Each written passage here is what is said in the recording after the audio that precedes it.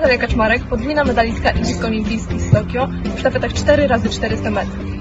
Wyjazd na Igrzyska Olimpijskie jest spełnieniem marzeń każdego sportowca. Poprzedzają go lata treningów i wyrzeczeń. Zdrowe odżywienie i suplementacja są niezbędne, aby osiągnąć taki sukces. Dlatego cieszę się, że firma Piens dostarcza zdrową i naturalną suplementację, wzmacniającą organizm, podnoszącą odporność i wydajność.